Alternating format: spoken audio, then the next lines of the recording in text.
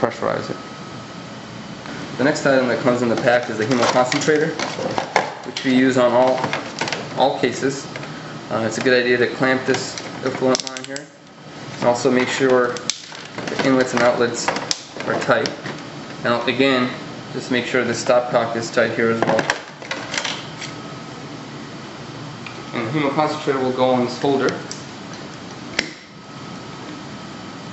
And the outlet can get plugged into one of these side ports.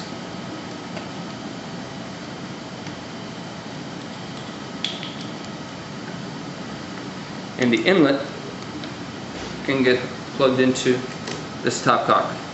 So the hemoconcentrator is fed by the other stopcock, the double stopcock that comes, uh, that feeds both the CDI.